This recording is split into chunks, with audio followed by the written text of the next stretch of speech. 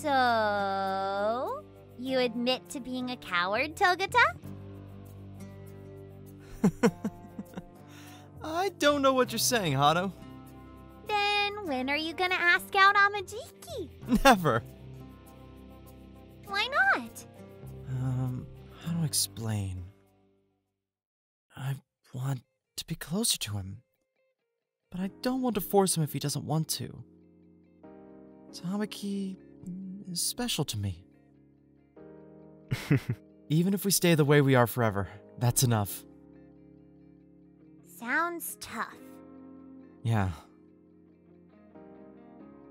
As long as Tamaki's happy, I'm perfectly okay with that. Hey,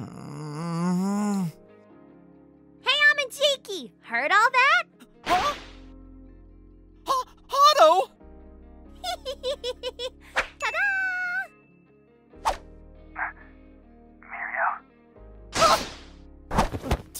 T- Tamaki! How much did you hear? I. I feel the same way. I also think that you're important to me.